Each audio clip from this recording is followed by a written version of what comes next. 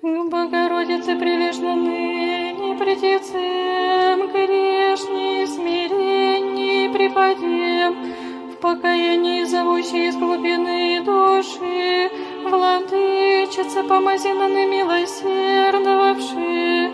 Подчися погибаем от множества прегрешений,